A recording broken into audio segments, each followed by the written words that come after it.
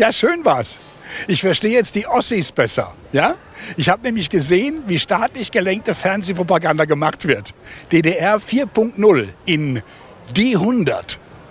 Ja, genau. Also für mich war diese Sendung wirklich ein Anti-AfD-Theater, kann Ja, man schon klar. sagen. Ich habe nur die letzten vier Minuten gesehen und ich wusste nicht, um was es geht. Und irgendwann habe ich dann geschnallt und denke ich, das ist doch Propaganda, Alter, aber volle Kanne. Hardcore. sagen. Ja, da wurden ja teilweise Laienschauspieler und auch Politiker der Linken dazu befragt, wie sie zur AfD stehen. Haben Sie denn die Sendung Die 100 gesehen? Ja, Und?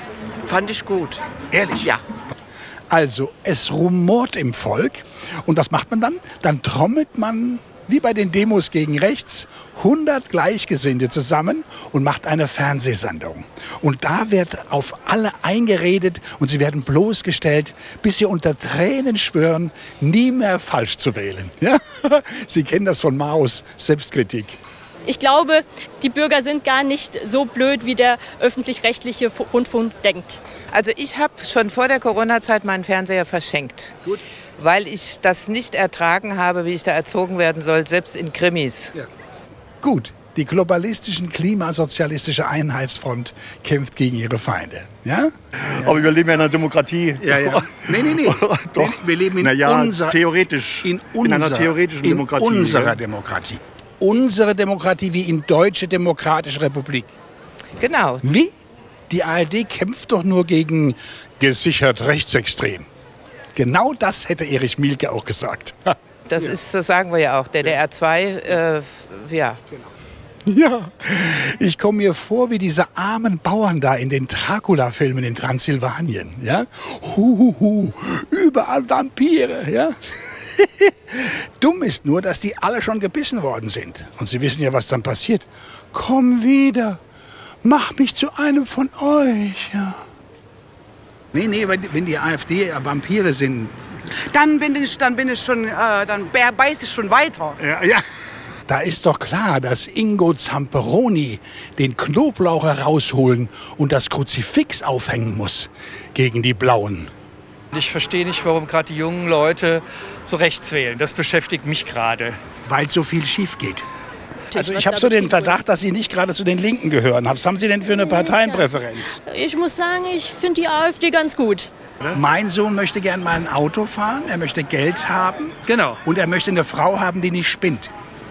Das ist ja alles löblich und wahrscheinlich auch nicht wirklich arbeiten, sich anstrengen. Das sollte so alles kommen. Ach komm, äh, anstrengend Ja, tut es er weiß, dass bei, den, äh, bei der Ampelregierung oder den Ja. Parteien, die Sie jetzt anscheinend gut finden, dass das schief geht. So sehen also diese Vampire aus, die infiziert sind. Ja, ganz schlimm, nicht wahr? Der Obervampir ist ja für alle Donald Trump. Ich das ist ein Vollidiot, Entschuldigung. Warum? Ja, da weiß keiner eine Antwort drauf. Trump ist ein Idiot und keiner weiß warum. Und für den wird ja überall sogar die Silberkugel poliert. Ja? Dann ist es ja klar. Den Obervampir, den darf man, ach Quatsch, den muss man töten. Ja? Ach, ich muss ganz ehrlich sagen, ich habe mich über Trump relativ geärgert und Ja? dass die Situation immer noch nicht äh, wirklich sinnvoll geklärt ist und dass die Dass er nicht Amerikaner... tot ist. Das fände ich jetzt unschön, äh, das zu sagen. Das habe ich so verstanden, weil ich dachte, man, man, sieht, man klärt die Situation, wie man Ja. Vampire mit dem Silberpfeil tot macht. und im Buchenholzpfahl, nein. Also ganz so würde ich es nicht sehen. Ich hätte es ja lieber äh, gesehen, wenn das auf legale Weise gegangen wäre. Und Knast. genau, für alle Zeit weggesperrt wäre. Der ist krank, Trump ist krank. Ja, der ist krank. Warum? Ja, was hat er denn? Was hat er denn? Mein e ewiges Thema ist natürlich äh, die Arroganz der Moderne gegenüber der Vergangenheit. Ich will es kurz erklären. Wir stehen hier ähm, auf diesem wunderbaren, herrlichen äh, Platz in der Altstadt Ja. und ähm, da schreit mir jede restaurierte Fassade entgegen, ihr Versager der Gegenwart. Ihr könnt nichts. Ja, was war sonst? Ja, Migration. Läuft. Olaf Scholz holt den Migrantennachwuchs höchstpersönlich. Hunderttausende kenianische IT-Spezialisten, ja? Kirgisen, Usbeken, Filipinos. Werden die Afghanen eigentlich noch eingeflogen? Ja, ne? oder? Ich stand letztens an der, an der Ampel, mir gegenüber standen in einer Reihe nur Immigranten. Also, und ich weiß nicht, ob die alle legal waren. Das sah mir Das nicht ist- so aus. das Ja, genau. Und die Rentner, die sollen jetzt äh, bis 70 arbeiten. Ne? Die sollen jetzt hier unseren Fachkräftemangel äh, ausgleichen, weil Ja gut, es ist ja äh, seit zehn Jahren wird über Fachkräftemangel äh, hergezogen. Es sind Millionen Leute gekommen und es ist immer noch Fachkräftemangel. ja, die kriegen es halt nicht mehr gebacken. Ja, verschiedene Länder werden ja jetzt nervös. Holland, Spanien. Ne? Die haben ja gehört, dass Nancy Faeser und Friedrich Merz den Zuzug einschränken wollen. Wo also hin mit den ganzen Leuten, die normalerweise durchgewunken werden? Die Holländer wollen ja auch eigene Wege gehen jetzt. Ja, aber das kriegen sie nicht hin. Das weiß ich nicht. Habe ich schon gelesen jetzt nach dem Motto, die machen jetzt die, die maulen da ein bisschen rum, aber die EU sagt einfach nee. Das, die werden sich umstellen müssen. Bin ich ganz sicher. Ja, da diese Holländer, die brauchen gar keine Angst haben. Es wird gar kein Zuzug eingeschränkt. Null. Ja? Die Bundespolizei langweilt sich. Gestern am Flughafen habe ich ein 30-Euro-Knöllchen bekommen, weil ich, Achtung, auf der Rückbank keinen Sicherheitsgurt anhatte. Dafür hatten die Zeit. Und Sie, geht es Ihnen gut? Ja, es geht mir gut. Wenn ich mit Ihnen rede, geht es mir prinzipiell gut, ehrlich gesagt. Wissen Sie, wer ich bin? Nein? Ich bin Marie-Prinzessin von Deutschland. Ja, siehst du, dann geht's doch. Marie-Prinzessin von Deutschland. Persönlich. Geld fehlt. Wie jede Woche, ja. Aber woher soll man es nehmen? Soll man etwa den Machern dieses Handbook for Germany, das dafür sorgt, dass man Abschiebungen auf jeden Fall vermeiden kann, soll man denen ihre 15 Millionen Euro Zuschuss wegnehmen? Ja? Oder die Milliarden den Südafrikanern für die Klimawende in Südafrika? Oder die hunderte Millionen für die U-Bahn in Ahmedabad in Indien? Nein, das kann man nicht. Dafür haben wir ja die Rentner und die Steuerzahler, nicht? Das, was sich gerade tut, ist zu erwarten. Ja. Und wenn man das so weitermacht, wird sich das nicht ändern. Ja. Hundertprozentig nicht. Aber Sie sind bemerkenswert gut gelaunt dafür. ich bin ein positiver Mensch. Ja, aber warum? Ja, die Regierung, ja, sensationell, sehr erfolgreich. Jetzt mit Bürgerräten auch, ja. Da werden dann, wie bei dieser Sendung da, 100 genehme Leute ausgesucht vom Bertelsmann Stiftung und so. Und die werden dann gefragt, ob das, was die Regierung macht, so in Ordnung ist. Wie jetzt zum Beispiel soll Desinformation, also das, was wir hier machen, tatsächlich bestraft werden. Und dann sagen die, ja, auf jeden Fall. Ja? Und dann wird das auch gemacht anstatt Parlament. Sie kennen das vom Ethikrat. Ja, wir sind in die Hände einer Clique gefallen von, äh, von Besessenen, äh, die wirklich dieses Land noch mal so richtig runterranzen wollen. Also was der Krieg nicht geschafft hat und der Wiederaufbau nicht geschafft hat, das wird jetzt nachgeholt. Und das sind Leu alles Leute, die, das, die Deutschland hassen. Also buchstäblich hassen. Ja. Soll die Regierung Fleischkonsum durch Steuern verteuern? Ja, ja. Ernährungsrat. Ist das Thema der Woche. Was ist denn Ihr Thema der Woche, bitte? Auswandern. Ja. Warum? Ja, weil es mir hier in Deutschland nicht mehr gefällt. Ach du lieber Gott. Jetzt, wo es gerade alles so gut läuft mit Klimawandel und mit äh, Great Reset und so. Ja, ja, die Politik läuft gut, es Ja. läuft alles gut. Ich kann einmal nicht verstehen, wieso so viele Leute die CDU wählen. Ist doch ganz einfach. Also die älteren Leute, also die abends tatsächlich noch die Öffis schauen, ja, denen passt auch ganz viel nicht. Und die wollen natürlich auch so rechts wie möglich wählen. Ja?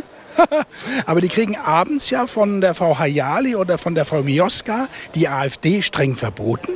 Also ist so rechts wie möglich CDU. Und bingo, hast du das Fiasko. Was wählen Sie denn? Wen wählen Sie denn? Ob ich das sagen soll? Na, ich weiß es ja. CDU natürlich. Ja, ja, CDU natürlich. Da haben Sie recht. Ja, aber warum? Wie groß muss die Amnesie, der Gedächtnisverlust sein, wenn man immer noch glaubt, dass das alles gut wird, wenn man die CDU wählt nach 16 Jahren Merkel? Ja, die muss schon groß sein. Ja, aber jetzt, haben wir, jetzt sind wir ja zwischen Baum und Borke. So CDU, ist äh, AfD darf man nicht, Ampel will man nicht und jetzt wählen Sie CDU. Ich muss aber nächstes Jahr meine Wahlunterlagen mir schicken lassen. Ach, Sie wählen dann von Spanien aus die CDU. ja, die Türken wählen ja auch von hier aus den Erdogan. Warum soll ich das nicht andersrum auch so machen? Aber warum wählen Sie CDU? Mir geht dieses Bild nicht aus dem Kopf von so einem kleinen CDU-Mann, der auf der Bühne das, das Deutschlandfähnchen schwingt und Das war der Merkel. Herr Gröhe. Danke, ja. Merkel reißt es ihm aus der Hand Ein Sinnbild. Und er applaudiert. Ein Sinnbild. Ja. Aber jetzt mal ganz ehrlich, Frau, wie ist denn Ihr Name? Nguyen, Anna Nguyen. Ja, in Frankfurt. Ich, also ich, äh, kann das nicht sein, dass Sie diese AfD-Nguyen sind? Das äh, kann schon sein, ja. Die bin ich tatsächlich, muss ich zugeben. Ein Mitglied? Ein Mitglied und eine Landtagsabgeordnete. Ach du heilige Bimbam, das schneiden wir. Was ist denn Ihre Lieblingsfarbe? Blau. Sie ist die Nummer 1 in meiner eigenen 100-Sendung. Ne? Wir fangen jetzt auch an mit die 100 und da ist sie jetzt Nummer 1 von den handverlesenen Teilnehmern. Herzlichen Dank. Gerne, wir lernen eben von den Besten, nicht wahr? Vom NDR. Genau. Sie sind soeben Nummer 2 in meiner Sendung, die 100 geworden. Ich bin 100 geworden. Nein.